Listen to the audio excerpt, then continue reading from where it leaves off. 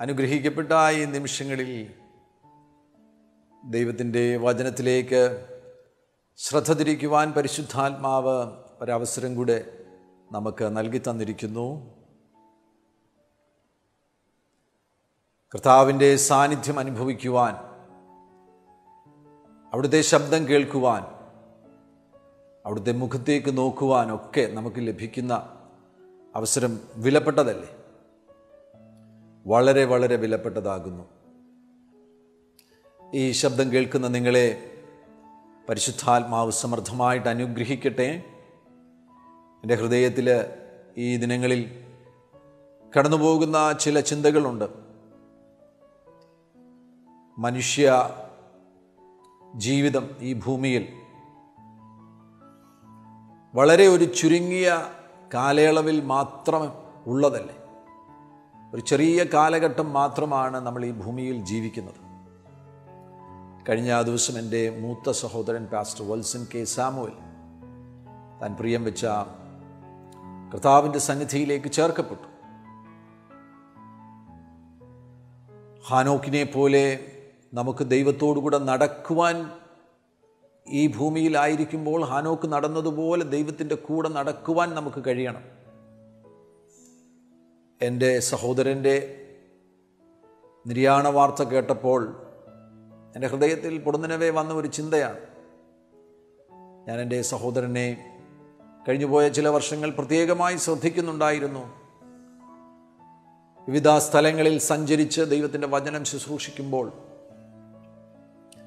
പ്രത്യേകിച്ചും കുഗ്രാമങ്ങളിൽ കടന്നു ചെന്ന് അവിടെയുള്ള ജീവിത സാഹചര്യങ്ങളിൽ ജീവിക്കുകയും അവിടെയുള്ള തദ്ദേശവാസികളോട് ഒരുമിച്ച് ഭക്ഷണം കഴിക്കുകയും അവരെ ദൈവത്തിന്റെ വചനം പഠിപ്പിക്കുകയും ഒക്കെ ചെയ്തപ്പോൾ എന്റെ സഹോദരനിൽ വെളിപ്പെട്ട ആ ദൈവസ്നേഹത്തിന്റെ ആഴം വളരെ വലുതായിരുന്നു. വേണമെങ്കിൽ പറയുവാൻ കഴിയും യേശുക്രിസ്തുവുമായിട്ടുള്ള ആഴമായ ഒരു പ്രണയബന്ധത്തിൽ ആയതിന് തുല്യമായിരുന്നു. മറ്റെല്ലാ കാര്യങ്ങളോടുമുള്ള താല്പര്യമില്ലാതെയായി. ലോകത്തിലുള്ള മറ്റു കാര്യങ്ങളോടുള്ള താല്പര്യങ്ങളില്ലാതെയായി യേശുക്രിസ്തുവിന്റെ കൂടെ നടക്കുന്ന നിലവാരത്തിലേക്ക് പാസ്റ്റർ വത്സൻ കെ സാമുവൽ കഴിഞ്ഞുപോയ ചില വർഷങ്ങൾ തന്റെ ആത്മീക ജീവിതത്തിൽ ഉയർന്നു വന്നു. ഹാനോക്ക് ദൈവത്തിന്റെ കൂടെ നടന്നതുപോലെ എന്ന് പറയുമ്പോൾ അതൊരു വിശേഷണം വളരെ കൂടുതലാണ് എങ്കിൽ പോലും നമ്മുടെ നിലവാരത്തിൽ ആശയം മനസ്സിലാകുവാൻ വേണ്ടി നമുക്കത് ആ നിലയിൽ തന്നെ പറയുവാൻ കഴിയും ഹാനോക്ക് ദൈവത്തിന്റെ കൂടെ നടന്നതുപോലെ. ദൈവം അവനെ എടുത്തുകൊണ്ടതിനാൽ കാണാതെയായി. ഇങ്ങനെയൊക്കെയുള്ള സംഭവങ്ങൾ നമുക്ക് നൽകുന്ന സന്ദേശം കൂടുതൽ വിശുദ്ധിയോടുകൂടെ യേശുവിനോട് ചേർന്നൊരു ജീവിതം നയിക്കുവാൻ നമ്മൾ ഓരോരുത്തരും തയ്യാറാകണം. മാത്രവുമല്ല ഈ ഭൂമിയിലെ ജീവിതത്തിന്റെ നീളത്തെക്കുറിച്ചുള്ള നല്ല ഒരു വ്യക്തത നമുക്കുണ്ടാകുന്നത് നല്ലതാണ്. മുപ്പത്തിയൊൻപതാമത്തെ സങ്കീർത്തനത്തിൽ സങ്കീർത്തനക്കാരന്റെ ചില സങ്കടങ്ങളൊക്കെ ദൈവസന്നിധിയിൽ പങ്കുവയ്ക്കുന്നുണ്ട്. അപ്പോൾ അദ്ദേഹം പറയുകയാണ് അതിന്റെ രണ്ടാമത്തെ വാക്യത്തിൽ ഞാൻ ഉരിയാടാതെ ഊമനായിരുന്നു നന്മയെ ഗണ്യമാക്കാതെ മൗനമായിരുന്നു എന്റെ സങ്കടം പൊങ്ങി വന്നു എന്റെ ഉള്ളിൽ ഹൃദയത്തിന് ചൂട് പിടിച്ചു എന്റെ ധ്യാനത്തിങ്കൽ തീ കത്തി. അപ്പോൾ ഞാൻ നാവെടുത്ത് സംസാരിച്ചു. ദൈവസന്നിധിയിൽ തനക്ക് തനിക്ക് ചില സന്ദേഹങ്ങളുണ്ട് ചില സംശയങ്ങളുണ്ട് ചില ചോദ്യങ്ങളുണ്ട്. ഒക്കെ അങ്ങനെയുള്ള പല ചിന്തകൾ സങ്കീർത്തനക്കാരന്റെ ഹൃദയത്തിലൂടെ കടന്നു പോകുമ്പോഴാണ് താൻ ഊമനായിരുന്നത് നന്മയെ ഗണ്യമാക്കാതെ മൗനമായിരുന്നത് തന്റെ ഉള്ളിൽ സങ്കടം പൊങ്ങി വന്നത്. ആ സമയത്ത് ഹൃദയത്തിൽ തന്റെ ധ്യാനത്തിങ്കിൽ തീ കത്തി നാവെടുത്ത് സംസാരിച്ചു. ഹോയാകുന്ന ദൈവത്തോട് ചോദിക്കുകയാണ് എന്റെ അവസാനത്തെയും എന്റെ ആയുസ് എത്ര എന്നതിനെയും എന്നെ അറിയിക്കണമേ. ഞാൻ എത്ര ക്ഷണികനെന്ന് ഞാൻ അറിയുമാറാകട്ടെ. ഞാൻ എത്ര ക്ഷണികനെന്ന് ഞാൻ അറിയുമാറാകട്ടെ. നമ്മളെല്ലാം ഇത് നമ്മുടെ ജീവിതത്തിൽ ഒരറിവായി സ്വീകരിക്കണം. എത്ര ക്ഷണികമാകുന്നു ഈ ഭൂമിയിലെ ജീവിതം. ഈ ഭൂമിയിലെ ജീവിതം വളരെ ക്ഷണികമാകുന്നതിനാൽ ആ കാഴ്ചപ്പാടിൽ അതൊരു വെളിപ്പാടാണ്. ആ വെളിപ്പാടിൽ ഈ ഭൂമിയിൽ ജീവിക്കണം. നമ്മുടെ മുൻപിൽ വരുന്ന ഓരോ കാര്യങ്ങളും താൽക്കാലികമാകുന്നു എന്നുള്ള ആ വെളിപ്പാടിൽ ഇവിടെ ഒന്നും നമുക്ക് പിടിമുറുക്കുവാനില്ല. കുറേ കാലം പിടി മുറുക്കിയാലും ഒരു ദിവസം പിടിവിടേണ്ടതായിട്ട് വരും. ഇതെല്ലാം വിട്ടിട്ട് പോകേണ്ട ഒരു ദിവസമുണ്ട് എന്നുള്ള തിരിച്ചറിവിൽ ജീവിക്കുന്ന ഒരു ഭക്തൻ. സങ്കീർത്തനക്കാരൻ അഞ്ചാം വാക്യത്തിൽ പറയുന്നു ഇതാ നീ എന്റെ നാളുകളെ നാലു വിരൽ നീളമാക്കിയിരിക്കുന്നു. എന്റെ ആയുസ് നിന്റെ മുമ്പാകെ ഏതുമില്ലാത്തതുപോലെ ഇരിക്കുന്നു. ഏതു മനുഷ്യനും ഉറച്ചു നിന്നാലും ഒരു ശ്വാസമത്രേ ഏതു മനുഷ്യനും എത്ര വിദ്യാസമ്പന്നനാകട്ടെ എത്ര ധനികനാകട്ടെ എത്ര ആരോഗ്യമുള്ള വ്യക്തിയാകട്ടെ ഏതു മനുഷ്യനും ഉറച്ചു നിന്നാലും ഒരു ശ്വാസം അത്രയും. മനുഷ്യരൊക്കെയും വെറും നിഴലായി നടക്കുന്നു നിശ്ചയം. മനുഷ്യരൊക്കെയും വെറും നിഴലായി നടക്കുന്നു നിശ്ചയം. ഇപ്പോൾ വലിയ ശ്രേഷ്ഠരെന്ന് നമ്മൾ നിരൂപിക്കുന്ന ഉന്നതരെന്ന് നമ്മൾ നിരൂപിക്കുന്ന പലരും വെറും നിഴലായി നടക്കുന്നു. അടുത്ത ഭാഗങ്ങൾ വളരെ ശ്രദ്ധേയമാണ്. അവർ വ്യർത്ഥമായി പരിശ്രമിക്കുന്നു നിശ്ചയം. അവർ ധനം സമ്പാദിക്കുന്നു. ആർ അനുഭവിക്കും എന്നറിയുന്നില്ല. ഒരു വിരോധാഭാസം പോലെ തോന്നും. ധനം സമ്പാദിക്കുന്നു ആർ അനുഭവിക്കും എന്നറിയുന്നില്ല. പലർക്കും സമ്പത്ത് കൂട്ടിവെക്കുവാൻ കഴിയുന്നു പക്ഷേ അനുഭവിക്കുവാൻ കഴിയുന്നില്ല. നൈമിഷികമാകുന്ന ഈ ജീവിതം. ഇന്ന് കണ്ട് നാളെ അപ്രത്യക്ഷമാകുന്ന ഈ ജീവിതം ആ ജീവിതത്തിന്റെ താൽക്കാലിക സ്വഭാവത്തെക്കുറിച്ചുള്ള തിരിച്ചറിവ് സ്വീകരിക്കുന്ന ഒരു ഭക്തനെ സംബന്ധിച്ചിടത്തോളം ഈ ഭൂമിയിലായിരിക്കുമ്പോൾ ഏറ്റവും ശ്രേഷ്ഠമായി കാണുന്നത് ദൈവത്തിന്റെ കൂടെ നടക്കുക എന്നതാണ്. പരിശുദ്ധാത്മാവിന്റെ സാന്നിധ്യത്തിൽ സഞ്ചരിക്കുക പരിശുദ്ധാത്മാവിനോട് കൂടെ സഞ്ചരിക്കുക എന്നതാണ് അദ്ദേഹത്തെ സംബന്ധിച്ചിടത്തോളം ഏറ്റവും ഗൗരവമേറിയ കാര്യം. ഈ ഉൽപ്പത്തി പുസ്തകം അഞ്ചാമത്തെ അധ്യായത്തിൽ അവിടെ ആ അധ്യായം വായിക്കുകയാണെങ്കിൽ നമുക്ക് തോന്നും നമ്മളൊരു ശവപ്പറമ്പിലൂടെ നടന്നു പോകുകയാണോ? ഓരോ വാക്യങ്ങൾ ശ്രദ്ധിച്ചു കഴിഞ്ഞാൽ നിങ്ങൾക്കത് മനസ്സിലാകും. അഞ്ചാം വാക്യം ആദാമിന്റെ ആയുഷ്കാലം ആകെ തൊള്ളായിരത്തി മുപ്പത് സംവത്സരമായിരുന്നു. പിന്നെ അവൻ മരിച്ചു. വീണ്ടും എട്ടാം വാക്യത്തിൽ ഷേയത്തിന്റെ ആയുഷ്കാലം ഷേത്തിനെക്കുറിച്ച് പറഞ്ഞതിന് ശേഷം പിന്നെ അവൻ മരിച്ചു. വീണ്ടും നമുക്ക് കാണാൻ കഴിയുന്നു. പതിനൊന്നാം വാക്യത്തിൽ ഏനോഷിന്റെ ആയുഷ്കാലം തൊള്ളായിരത്തി അഞ്ച് സംവത്സരമായിരുന്നു. പിന്നെ അവൻ മരിച്ചു. ഇത് മാത്രമേ ഈ അധ്യായത്തിൽ പറയാനുള്ളൂ. വായിക്കുമ്പോൾ തോന്നും ഇതൊരു ശവപ്പറമ്പിലൂടെ നടന്നു പോകുന്നതിന് സമാനമാകുന്നുവല്ലോ. ആയുസ് പറഞ്ഞതിന് ശേഷം അവസാനമായിട്ട് അവരെക്കുറിച്ച് പറയുന്നത് പിന്നെ അവൻ മരിച്ചു. പിന്നെ അവൻ മരിച്ചു. പിന്നെ അവൻ മരിച്ചു. എന്നാൽ ഇതിന്റെ നടുവിൽ ഒരാൾക്ക് വ്യത്യസ്തനാകുവാൻ കഴിഞ്ഞു. ഈ തലമുറയിൽ പലതുകൊണ്ടും വ്യത്യസ്തരാകണം. നാം ഓരോരുത്തരും വ്യത്യസ്തരാകണമെന്ന് ദൈവം ആഗ്രഹിക്കുന്നു. ഉൽപ്പത്തി പുസ്തകം അഞ്ചാമത്തെ അധ്യായത്തിൽ ഇരുപത്തിയൊന്നാമത്തെ വാക്യത്തിൽ ഹാനോക്കിന് അറുപത്തിയഞ്ച് വയസ്സായപ്പോൾ അവൻ മെഥുശലേഹിനെ ജനിപ്പിച്ചു. മെഥുശലേഹിനെ ജനിപ്പിച്ച ശേഷം ഹാനോക്ക് മുന്നൂറ് സംവത്സരം ദൈവത്തോടുകൂടെ നടക്കുകയും പുത്രന്മാരെയും പുത്രിമാരെയും ജനിപ്പിക്കുകയും ചെയ്തു. ഹാനോക്കിന്റെ ആയുഷ്കാലമാകെ മുന്നൂറ്ററുപത്തഞ്ച് സംവത്സരമായിരുന്നു. ഹാനോക്ക് ദൈവത്തോട് കൂടെ നടന്നു. ദൈവം അവനെ എടുത്തുകൊണ്ടതിനാൽ കാണാതെയായി. ഹാനോക്കിന്റെ ജീവിതത്തിലും ഇവിടെ പിന്നെ അവൻ മരിച്ചു എന്ന് രേഖപ്പെടുത്തേണ്ടതായിരുന്നു. ഹാനോക്കിന് മാത്രം വളരെ വ്യത്യസ്തവും നിസ്തുലവുമാകുന്ന ഒരു സമാപനം ഈ ഭൂമിയിൽ അത്തരത്തിലുള്ള ഒരു അന്ത്യം ലഭിച്ചു. ഹാനോക്കു ഹാനോക്കിനെ കുറിച്ച് ഇവിടെ രേഖപ്പെടുത്തുന്ന സന്ദർഭത്തിൽ ഹാനോക്കിനെ കുറിച്ച് പറയുന്നത് അവൻ ദൈവത്തോടുകൂടെ നടന്നു. പിന്നെ അവൻ മരിച്ചു എന്നല്ല ദൈവം അവനെ എടുത്തുകൊണ്ടതിനാൽ കാണാതെയായി. ഈ നിലവാരത്തിലുള്ള ഒത്തിരി മനുഷ്യരുണ്ടായിരുന്നു. ആറാമത്തെ അധ്യായത്തിൽ മറ്റൊരു മനുഷ്യനെ നമുക്ക് കാണാൻ കഴിയുന്നുണ്ട്. വിചിത്രമെന്ന് തോന്നുന്ന സാഹചര്യം സമൂഹത്തിൽ സാധാരണമായി സംഭവിക്കുന്നതിന്റെ നടുവിൽ ഒരാൾ പ്രത്യേകതയുള്ള വ്യക്തിയായിത്തീരും. ഉൽപ്പത്തി അഞ്ചാമത്തെ അധ്യായത്തിൽ മരണം മരണം മരണമെന്ന് എല്ലാ പേരിനോടും ചേർത്ത് വെച്ച് എഴുതുമ്പോൾ പിന്നെ അവൻ മരിച്ചു പിന്നെ അവൻ മരിച്ചു പിന്നെ അവൻ മരിച്ചു എന്ന് എല്ലാ പേരുകളോടും ചേർത്ത് വെച്ച് രേഖപ്പെടുത്തുന്ന സന്ദർഭത്തിൽ ഇതാ ഒരു മനുഷ്യൻ വ്യത്യസ്തനായി തീരുകയാണ് തന്റെ പേരിനോട് ചേർത്ത് പിന്നെ അവൻ മരിച്ചു എന്ന് എഴുത്തുകാരന് രേഖപ്പെടുത്തേണ്ടതായിട്ട് വന്നില്ല. അവൻ ദൈവത്തിന്റെ കൂടെ നടന്ന് ദൈവത്തോടു കൂടെ പാർക്കുവാൻ തക്കവണ്ണം ഈ ഭൂമിയിൽ നിന്ന് എടുക്കപ്പെട്ടു. ഈ വീട് വിട്ടതിനു ശേഷം ദൈവത്തിന്റെ വീട്ടിലേക്ക് പോയി.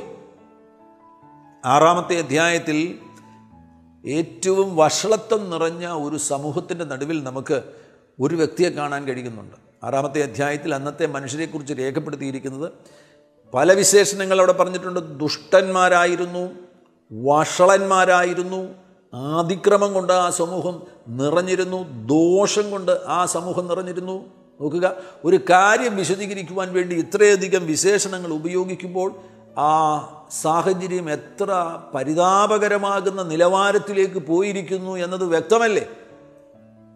ഭീകരമാകുന്ന വഷളത്വം കൊണ്ട് നിറഞ്ഞിരിക്കുന്ന മലിനമായിരിക്കുന്ന ആകമാനം മലിനമായിരിക്കുന്ന ഒരു സമൂഹത്തിന്റെ നടുവിൽ നമുക്ക് കാണാൻ കഴിയുന്നു അതിന്റെ എട്ടാമത്തെ വാക്യത്തിൽ എന്നാൽ നോഹയ്ക്ക് യഹോവയുടെ കൃപ ലഭിച്ചു.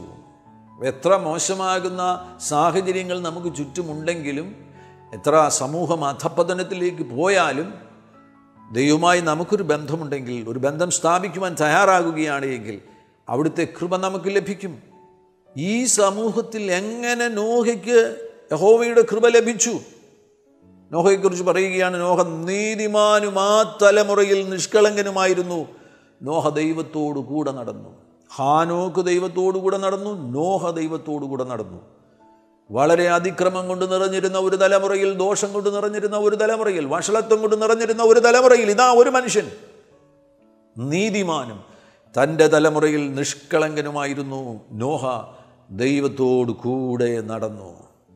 ലോകസംഭവങ്ങളെല്ലാം നമ്മോട് വിളിച്ചു പറയുന്നത് അതാകുന്നു. ഈ സമയത്ത് ദൈവത്തിന്റെ കൂടെ നടക്കുവാൻ പരിശുദ്ധാത്മാവിന്റെ സാന്നിധ്യത്തിൽ നടക്കുവാൻ നിങ്ങൾ തയ്യാറാകുക.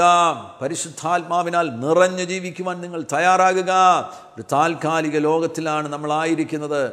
ഇന്ന് കാണുന്നവരെ നമുക്ക് നാളെ കാണുവാൻ കഴിയുകയില്ല. ഇടത്തും വലത്തും വ്യത്യസ്തമാകുന്ന സാഹചര്യങ്ങൾ മനുഷ്യനെ ഞെരുക്കിക്കൊണ്ടിരിക്കുകയാണ്. നോഹിയുടെ കാലഘട്ടം പോലെ തന്നെ ഈ സമൂഹമായി തീർന്നുകൊണ്ടിരിക്കുന്നു. അതിന്റെ നടുവിൽ നീതിപൂരിതമാകുന്ന ഒരു ജീവിതം നയിക്കുവാൻ വേണ്ടി തീരുമാനമെടുക്കുകയാണെങ്കിൽ അതിനുവേണ്ടി ഹൃദയത്തിലൊരാഗ്രഹമുണ്ടെങ്കിൽ നോഹയ്ക്ക് ആ ത്വലം ആ തലമുറയിൽ നോഹയുടെ തലമുറയിൽ നോഹയ്ക്ക് നീതിമാനും നിഷ്കളങ്കനുമായി ജീവിക്കുവാനും ഹോവയുടെ കൃപ സ്വീകരിക്കുവാനും പഴയ നിയമത്തിൽ അവിടെ കൃപയെന്ന് പറയുന്നു എങ്കിലും ദൈവത്തിന്റെ കരുണയെന്ന് നമുക്ക് വിശ്വസിക്കുവാൻ കഴിയും.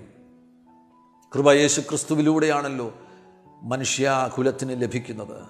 അപ്പോൾ ദൈവത്തിന്റെ കരുണ ലഭിക്കുവാനും നീതിമാനായി ജീവിക്കുവാനും നിഷ്കളങ്ക നിഷ്കളങ്കനായി ആ തലമുറയിലായിരിക്കുവാനും തക്കവണ്ണം നോഹയ്ക്ക് കഴിഞ്ഞോ? അത് യാഥാർത്ഥ്യമാണോ? അതൊരു സത്യമാണോ? അതെ അതൊരു സത്യമാണ്. നോഹയ്ക്ക് അത് കഴിഞ്ഞു. അതുകൊണ്ട് നോഹയെക്കുറിച്ച് രേഖപ്പെടുത്തിയിരിക്കുന്നു. അവൻ ദൈവത്തിന്റെ കൂടെ നടന്നു. ഹാലലുയ്യ പ്രൈസ് അലോഡ് ഹല്ലലുയ്യ ദൈവത്തിന്റെ കൂടെ നടക്കുന്ന ഒരു വ്യക്തിയായി നാം തീരണമെന്നാണ് പരിശുദ്ധാത്മാവ് നമ്മെക്കുറിച്ച് ആഗ്രഹിക്കുന്നത്. ഇപ്പോൾ ഈ സംഘർഷങ്ങളെല്ലാം ഭൂമിയിലുള്ളതിന്റെ നടുവിലും മനുഷ്യരൊക്കെ താൽക്കാലികമായിട്ട് ഇന്ന് കണ്ട് നാളെ അപ്രത്യക്ഷമാകുന്ന ഈ താൽക്കാലികമാകുന്ന ലോകവുമായുള്ള ബന്ധത്തിലാണ് അവരുടെ ചിന്താമണ്ഡലങ്ങളെ ബന്ധിപ്പിച്ചിരിക്കുന്നത്. അവരുടെ ചിന്തകളിൽ കുട്ടികളുടെ വിദ്യാഭ്യാസം എന്തായിത്തീരും ജോലി എന്തായിത്തീരും വീടുപണി എന്തായിത്തീരും? ആ കാര്യങ്ങളെക്കുറിച്ചുള്ള ആവലാദികളും വേവലാദികളും കൊണ്ട് നിറഞ്ഞിരിക്കുകയാണ്. അവിടെ ദൈവത്തിലുള്ള ആശ്രയം മാത്രം മതി. ദൈവത്തിൽ ആശ്രയിക്കുകയാണ് എങ്കിൽ നോഹയുടെ പെട്ടകത്തിന്റെ ഉള്ളിലായിരുന്നവർക്ക് സുരക്ഷിതത്വം ലഭിച്ചില്ലേ? അവർക്കെല്ലാ കരുതലുകളും ലഭിച്ചില്ലേ? നോഹയും നോഹയുടെ കുടുംബവും പെട്ടകത്തിന്റെ ഉള്ളിലായിരുന്നു. ഏകദേശം പത്തു മാസത്തിലധികം പതിനൊന്ന് മാസത്തോളം അവർ പെട്ടകത്തിന്റെ ഉള്ളിലായിരുന്നു. അവരെ സംബന്ധിച്ചിടത്തോളം അവർക്കുള്ള എല്ലാ കരുതലുകളും ആ പെട്ടകത്തിന്റെ ഉള്ളിൽ ലഭിച്ചില്ലേ? ഈ സമയത്ത് ഈ ഭൂമിയിൽ എന്തു കഴിക്കും എന്തുടുക്കും എവിടെ പാർക്കും ഇങ്ങനെയുള്ള കാര്യങ്ങളെക്കുറിച്ച് ആവലാതിപ്പെടുവാനുള്ള വേവലാതിപ്പെടുവാനുള്ള വ്യാകുലപ്പെടുവാനുള്ള ഒരു സമയമേ അല്ലിത്. ഇത് ദൈവസാന്നിധ്യത്തിൽ കുതിർന്നിരിക്കുവാനും ദൈവത്തിലുള്ള ആശ്രയം ആഴമുള്ള ആശ്രയം ആ ആശ്രയം വെളിപ്പെടുത്തിക്കൊണ്ട് ജീവിതം നാം മുന്നോട്ട് നയിക്കുവാനും തയ്യാറാകുന്നു എങ്കിൽ ബാക്കി എല്ലാ കാര്യങ്ങളിലും പ്രകൃതിയാതീതമാകുന്ന പ്രവൃത്തികൾ വെളിപ്പെടും. സൂപ്പർ നാച്ചുറലാകുന്ന പ്രവൃത്തികൾ വെളിപ്പെടും. സ്വർഗം നമുക്ക് വേണ്ടി അത്ഭുതങ്ങൾ ചെയ്യും. ലുക്കോസിന്റെ സുവിശേഷം പന്ത്രണ്ടാമത്തെ അധ്യായത്തിലെ ഒരിക്കൽ യേശു കർത്താവ് ശുശ്രൂഷയിലായിരിക്കുമ്പോൾ ഒരു മനുഷ്യൻ വന്നിട്ട് യേശുവിനോട് പറയുകയാണ് പുരുഷാരത്തിൽ ഒരുത്തൻ അവനോട് ഗുരു ഞാനുമായി അവകാശം പകുതി ചെയ്യുവാൻ എന്റെ സഹോദരനോട് കൽപ്പിച്ചാലുമെന്ന് പറഞ്ഞു. യേശുവിന്റെ ശുശ്രൂഷ വളരെ ശക്തമായി നടക്കുന്നതിന്റെ നടുവിൽ ഇതാ ഒരു മനുഷ്യൻ. രോഗികൾ സൗഖ്യമാകുന്നു പാപികൾ രൂപാന്തരപ്പെടുന്നു ദൈവത്തിന്റെ വചനം കൊണ്ട് ജനം അനുഗ്രഹിക്കപ്പെടുകയാണ്. അങ്ങനെ ശുശ്രൂഷ മുന്നേറുന്ന ആ പ്രത്യേക സമയത്ത് ഒരു മനുഷ്യൻ വന്നിട്ട് യേശുവിനോട് പറയുകയാണ് ഞാനുമായി അവകാശം പകുതി ചെയ്യുവാൻ എന്റെ സഹോദരനോട് കൽപ്പിച്ചാലും യേശു അവനെ മനുഷ്യ എന്ന് വിളിക്കുകയാണ്. മനുഷ്യ. യേശു അവനോട് മനുഷ്യ എന്നെ നിങ്ങൾക്കും നിങ്ങൾക്ക് ന്യായകർത്താവോ പങ്കിടുന്നവനോ ആക്കിയതാർ. യേശുവിനോട് പറയുകയാണ് മനുഷ്യ എന്നെ നിങ്ങൾക്ക് ന്യായകർത്താവോ പങ്കിടുന്നവനോ ആക്കിയതാർ. ആ ചോദ്യത്തോട് കർത്താവ് പ്രതികരിക്കുന്നത് ശ്രദ്ധിക്കുക. അതൊരു ശാസനയാണ്. ആ ചോദ്യം ചോദിച്ച വ്യക്തി യേശുവിന്റെ ഹൃദയം മനസ്സിലാക്കാതെ അപ്പോൾ ആ സമയത്ത് വെളിപ്പെട്ടിരിക്കുന്ന ആ പരിശുദ്ധാത്മാ പ്രവൃത്തി ദൈവത്തിന്റെ ആത്മാ സാന്നിധ്യം യേശുവിലൂടെ പുറപ്പെടുന്ന ആ ശുശ്രൂഷയുടെ ഗൗരവം മനസ്സിലാക്കാതെ ഈ ഭൂമിയിലെ താൽക്കാലികമാകുന്ന കാര്യങ്ങളെ ചൊല്ലിയുള്ള ഒരു ചോദ്യം യേശുവിനോട് ചോദിക്കുമ്പോൾ യേശുവിനെ അതിന്റെ ഉള്ളിലേക്ക് വലിച്ചിടിക്കുവാൻ വേണ്ടി ശ്രമിക്കുമ്പോൾ യേശു ആ വ്യക്തിയെ ശാസിക്കുകയാണ്. ആ മനുഷ്യനോട് പറയുന്നു മനുഷ്യ എന്നെ നിങ്ങൾക്ക് ന്യായകർത്താവോ പങ്കിടുന്നവനോ ആക്കിയതാ. അതിനുശേഷം കർത്താവ് വളരെ വ്യക്തമായിട്ട് ആ ജനത്തോട് സംസാരിച്ചു. സകല ദ്രവ്യാഗ്രഹവും പതിനഞ്ചാം വാക്യത്തിൽ ലൂക്കോസിന്റെ സുവിശേഷം പന്ത്രണ്ടാമത്തെ അധ്യായം പതിനഞ്ചാമത്തെ വാക്യത്തിൽ സകല ദ്രവ്യാഗ്രഹവും സൂക്ഷിച്ചൊഴിഞ്ഞുകൊള്ളുവീൻ. ഒരുത്തിന് സമൃദ്ധി ഉണ്ടായാലും അവന്റെ വസ്തുവകയല്ല അവന്റെ ജീവന് ആധാരമായിരിക്കുന്നത്. ഇത് വളരെ ശ്രദ്ധിക്കേണ്ടത് ആവശ്യമാണ്. ഒരുത്തന് സമൃദ്ധി ഉണ്ടായാലും അവന്റെ വസ്തുവകയല്ല അവന്റെ ജീവന് ആധാരമായിരിക്കുന്നത്. ഈ കഴിഞ്ഞ ദിവസം പോർച്ചുഗലിൽ ഒരു ഒരു ബാങ്കർ ഈ ലോകത്തിൽ നിന്ന് മാറ്റപ്പെട്ടു. ഞാൻ ഈ സംഭവം കഴിഞ്ഞ ദിവസങ്ങളിലൊക്കെ എന്റെ ശുശ്രൂഷയിൽ ആവർത്തിക്കാറുണ്ട്. ആ സംഭവം എന്നെ പിടിച്ചു കുലുക്കി കളഞ്ഞു. ഒരു ബാങ്കറായിരുന്നു ഒരു ബാങ്കിന്റെ ഉടമയായിരുന്നു ബില്യണറായിരുന്നു ആ ബാങ്കിന്റെ ഉടമ കോവിഡ് വന്ന് ആശുപത്രിയിൽ മരിക്കുമ്പോൾ തന്റെ മകൾ ട്വിറ്ററിൽ എഴുതിയിരിക്കുകയാണ് ഞങ്ങളൊരു ധനിക കുടുംബമാകുന്നു. എന്റെ പപ്പ ഒരു ബില്യണറാകുന്നു എന്നാൽ ശുദ്ധവായു ശ്വസിക്കുവാൻ കഴിയാതെ അവസാന സമയത്ത് വെന്റിലേറ്ററിലല്ലേ? ശുദ്ധവായു ശ്വസിക്കുവാൻ കഴിയാതെ എന്റെ പപ്പ ഈ ലോകത്തിൽ നിന്ന് മാറ്റപ്പെടുമ്പോൾ പണം വീട്ടിലിരുന്നു. ഒത്തിരി പണമുണ്ട്. ആ പണം വീട്ടിലിരുന്നു. ഞാനപ്പോൾ ആദ്യമായിട്ട് ഇങ്ങനെ ചിന്തിച്ചു ശരിയാണല്ലോ പണത്തിന് നടന്നു ചെന്ന് മനുഷ്യനെ സഹായിക്കുവാൻ കഴിയുമോ? ആ ബാങ്കറിന്റെ പണം അയാൾക്ക് ബില്യൻസ് ഓഫ് മണിയുണ്ട് ആ പണത്തിന് നടന്നു ചെന്നിട്ട് ബാങ്കറെ തൊട്ടിട്ട് സാർ അങ്ങയുടെ പണമാണ് ഞാൻ. ഈ പ്രത്യേക ഘട്ടത്തിൽ അങ്ങയെ ഞാൻ ആശ്വസിപ്പിക്കാൻ വന്നിരിക്കുന്നു എന്ന് പണത്തിന് പറയാൻ കഴിയുമോ? വീടിന് അതേപോലെ അടുത്തു ചെന്ന് രോഗിയായി ആശുപത്രിയിൽ കിടക്കുമ്പോൾ വീടിനടുത്ത് ചെന്ന് വീടിനെ ആശ്വസിപ്പിക്കുവാൻ കഴിയുമോ? കാറിന് ആശ്വസിപ്പിക്കുവാൻ കഴിയുമോ? നമ്മുടെ വസ്തുവകകളെല്ലാം അത്രമാത്രമേ ഉള്ളൂ. അവയ്ക്കൊന്നും നമ്മുടെ അരികിൽ വന്നിട്ട് നമുക്കൊരു വൈകാരിക ഊർജം പകർന്നു തരുവാൻ കഴിയുകയില്ല. നമ്മുടെ ഭൗതിക ആവശ്യങ്ങൾക്ക് വേണ്ടി അവയെ നമുക്ക് ഉപയോഗിക്കുവാൻ കഴിയും. എന്നാൽ അവയിൽ നിന്ന് നമുക്കൊരാത്മീകമാകുന്ന ഊർജം ആവശ്യമായി വരുന്നു. നമുക്കൊരു വൈകാരികമാകുന്ന ഊർജം ആവശ്യമായി വരുന്നു. ഒരു വാക്കുകൊണ്ട് നമുക്ക് ഇപ്പോൾ ഒരു ബലം ലഭിക്കേണ്ടത് ആവശ്യമാണ്. ആ സമയത്ത് ഇവയ്ക്കെങ്ങാണ് നമ്മുടെ അരികിൽ വന്നിട്ട് എന്തെങ്കിലും ഗുണം നമുക്ക് ചെയ്യാൻ കഴിയുമോ? യശോദാണ് പറയുന്നത് സകല ദ്രവ്യാഗ്രഹവും സൂക്ഷിച്ചൊഴിഞ്ഞുകൊള്ളുവിൻ ഒരുവന് സമർത്ഥി ഉണ്ടായാലും അവന്റെ വസ്തുവകയല്ല അവന്റെ ജീവന് ആധാരമായിരിക്കുന്നത്. ഒരു വസ്തുവകയ്ക്കും നമ്മെ വന്ന് സഹായിക്കുവാൻ കഴിയത്തില്ല. നമ്മുടെ ആ പ്രത്യേക സമയത്ത് ആർക്കും മനുഷ്യർക്ക് പോലും ഇന്നത്തെ സാഹചര്യത്തിൽ മനുഷ്യർക്ക് പോലും അടുത്തു വരുവാൻ കഴിയത്തില്ല. ദൈവത്തിൽ ആശ്രയം വയ്ക്കുന്നൊരു വ്യക്തിക്ക് മാത്രമേ യേശുവിൽ ആശ്രയം വയ്ക്കുന്ന ഒരു വ്യക്തിക്ക് മാത്രമേ ആ സമയത്ത് ദിവ്യമാകുന്ന സഹായം സ്വീകരിക്കുവാൻ അവിടുന്ന് ദിവ്യമാകുന്ന സഹായം ആ വ്യക്തിയുടെ മേൽ ചൊരിയുവാൻ സന്നദ്ധനാകും ദിവ്യമാകുന്ന സഹ സഹായം സ്വീകരിക്കുവാൻ യേശു ക്രിസ്തുവിലൂടെ സ്വീകരിക്കുവാൻ യേശു ക്രിസ്തുവിൽ ആശ്രയം വയ്ക്കുന്ന ഒരു വ്യക്തിക്ക് സാധ്യമാകും. യേശു ഇവിടെ ഒരു ഉപമയും പറയുകയാണ് ഈ മനുഷ്യൻ വന്നിട്ട് എന്റെ വസ്തുവക പകുതി ചെയ്ത് തരണം എന്നുള്ള ആവശ്യം ഉന്നയിച്ചപ്പോൾ യേശു അവനെ ശാസിക്കുകയും ആമീൻ ദ്രവ്യാഗ്രഹത്തെക്കുറിച്ച് യേശു ആമേൻ. പരാമർശിച്ചതിന് ശേഷം ജീവന് ആധാരമായിരിക്കുന്നത് പണമല്ല സമൃദ്ധിയല്ല. അതിനുശേഷം കർത്താവ് ഒരു ഉപമ പറയുന്നത് ശ്രദ്ധിക്കുക. കർത്താവ് പറയുന്ന ഉപമ പതിനാറാമത്തെ വാക്യം മുതൽ കാണുവാൻ കഴിയുന്നു. ധനവാനായ ഒരു മനുഷ്യന്റെ ഭൂമി നന്നായി വിളഞ്ഞു. അപ്പോൾ അവൻ ഞാൻ എന്തു ചെയ്യേണ്ടു? എന്റെ വിളവ് കൂട്ടിവയ്പാൻ സ്ഥലം പോരാ എന്നുള്ളിൽ വിചാരിച്ചു. പിന്നെ അവൻ പറഞ്ഞത് ഞാൻ ഇത് ചെയ്യും. എന്റെ കളപ്പുരകളെ പൊളിച്ച് അധികം വലിയവ പണിത്. എന്റെ വിളവും വസ്തുവകയും എല്ലാം അതിൽ കൂട്ടിവയ്ക്കും എന്നിട്ട് എന്നോട് തന്നെ നിനക്കേറിയ ആണ്ടുകൾക്ക് മതിയായ അനവധി വസ്തുവക സ്വരൂപിച്ചു വച്ചിരിക്കുന്നു. ആശ്വസിക്ക തിന്നുക കുടിക്ക ആനന്ദിക്ക എന്ന് പറയും. ദൈവമാവനോട് അപ്പോൾ ഈ ധനികനാകുന്ന മനുഷ്യന് ഇഷ്ടം പോലെ അന്നത്തെ ഭാഷയിൽ ഇഷ്ടം പോലെ തനിക്ക് വസ്തുവകകൾ വർദ്ധിച്ചിരിക്കുകയാണ്. തന്റെ കൊയ്ത്ത് വളരെ അനുഗ്രഹപ്രദമായി തീർന്നു എന്ന് അദ്ദേഹം പറയുന്നു. അതെല്ലാം കൂട്ടിവെക്കുകയാണ് ഇന്നത്തെ ഭാഷയിൽ പറയുകയാണെങ്കിൽ സമ്പത്ത് വർദ്ധിച്ചിരിക്കുന്നു ഭൗതിക വസ്തുക്കൾ വർദ്ധിച്ചിരിക്കുന്നു ബാങ്ക് ബാലൻസ് വർദ്ധിച്ചിരിക്കുകയാണ്. ഇതെല്ലാം കൂട്ടിവെച്ചതിന് ശേഷം ഇന്നത്തെ മനുഷ്യൻ പറയുന്നത് പോലെ ഏറെ ആണ്ടുകൾ ജീവിക്കുവാനുള്ള ധനം എനിക്കുണ്ട്. എന്റെ തലമുറകൾക്ക് സുഖമായി ജീവിക്കുവാൻ തക്കവണ്ണം എന്റെ പക്കൽ പണമുണ്ട് എന്നൊക്കെ പറഞ്ഞ് ഇരിക്കുന്ന മനുഷ്യനോട് ആ നിലവാരത്തിലായിരിക്കുന്ന മനുഷ്യനോട് എല്ലാം ഉണ്ടെന്ന് പറയുന്ന മനുഷ്യനോട് ദൈവം പറയുകയാണ് മൂഢ ഈ രാത്രിയിൽ നിന്റെ പ്രാണനെ നിന്നോട് ചോദിക്കും. പിന്നെ നീ ഒരുക്കി വെച്ചത് ആർക്കാകുമെന്ന് പറഞ്ഞു.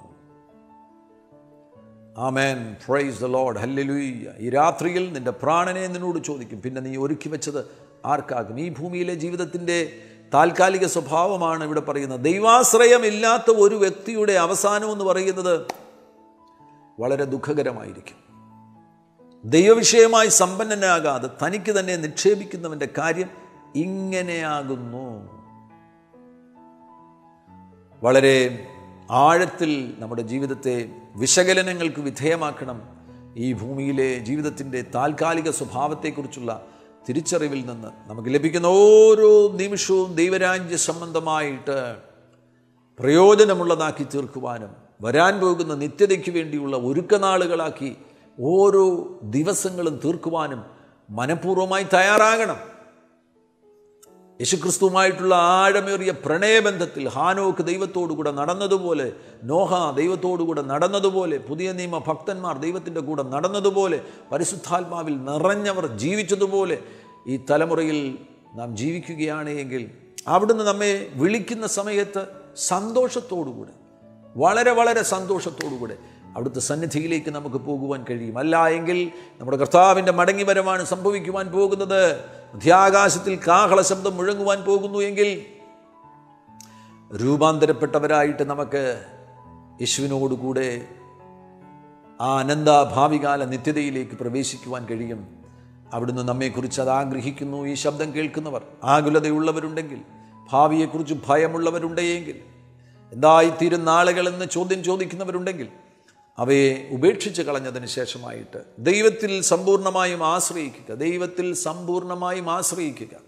ദൈവത്തിൽ സമ്പൂർണമായി ആശ്രയിക്കുകയാണ് എങ്കിൽ ഇവിടെ എന്തൊക്കെ താൽക്കാലിക ആവശ്യങ്ങളുണ്ടെങ്കിൽ അതെല്ലാം സ്വർഗം തന്നെ അത്ഭുതകരമാകുന്ന വഴികളിലൂടെ നമുക്ക് വേണ്ടി നൽകി തരുവാൻ നമ്മുടെ കർത്താവ് വിശ്വസ്തനാകുന്നു. നമ്മുടെ കർത്താവ് വാക്ക് പറഞ്ഞാൽ മാറാത്തവനാണ് ഒരിക്കലും മാറാത്തവനാണ്. മനസ്സിലുള്ള കർത്താവാണ് മഹാതയുള്ള കർത്താവാണ് കരുണാസമ്പന്നനാകുന്ന കർത്താവാണ്. കൂടെ നടക്കുന്ന കർത്താവാണ് നമ്മിൽ വസിക്കുന്ന കർത്താവാണ്. പരിശുദ്ധാത്മാവ് നമ്മിൽ വസിക്കുകയില്ലേ? അതിനാൽ നമ്മുടെ ചെറുതും വലുതുമാകുന്ന ആവശ്യങ്ങളെ ചൊല്ലി നമ്മൾ വ്യാകുലപ്പെടേണ്ട കാര്യമുണ്ടോ? ഭാവിയെക്കുറിച്ച് ഓർത്ത് നമ്മൾ വ്യാകുലപ്പെടേണ്ട കാര്യമുണ്ടോ? ഇല്ല. അവിടുന്ന് നമുക്ക് വേണ്ടി അത്ഭുതങ്ങൾ ചെയ്യും. ഈ ശബ്ദം കേൾക്കുന്ന ഓരോരുത്തരുടെ മേലും കർത്താവാകുന്ന യേശു ക്രിസ്തുവിന്റെ സമർത്ഥമാകുന്ന അനുകൂലത സമർത്ഥമാകുന്ന ആശീർവാദം ധാരാളമായിട്ട് അവിടുന്ന് നിങ്ങളുടെ മേൽ ചൊരിയട്ടെ. ഈ ലോകത്തിലെങ്ങും വില കൊടുത്താൽ ലഭിക്കാത്ത സമാധാനം കൊണ്ട് നിങ്ങളുടെ ഹൃദയങ്ങളെ യേശു നിറയ്ക്കട്ടെ. ആശ്വാസം കൊണ്ട് നിങ്ങളുടെ ഹൃദയങ്ങളെ യേശു നിറയ്ക്കട്ടെ. വളരെ സമ്പന്നമാകുന്ന ആത്മീക സമ്പന്നതയുള്ളൊരു ജീവിതം നയിക്കുവാൻ യേശു കർത്താവ് നിങ്ങൾക്ക് എല്ലാവർക്കും പ്രത്യേകമാകുന്ന ബലം തരട്ടെ. അവിടെ നിങ്ങളുടെ കൂടെയിരിക്കും നിങ്ങൾ ആരെങ്കിലും ഏതെങ്കിലും മനപ്രയാസത്തിലൂടെയോ വ്യാകുലതയിലൂടെയോ ദുഃഖത്തിലൂടെയോ കടന്നു പോവുകയാണെങ്കിൽ ഒരു വാക്ക് ഞാൻ നിങ്ങൾക്ക് വേണ്ടി പ്രാർത്ഥിക്കുവാൻ ആഗ്രഹിക്കുന്നു.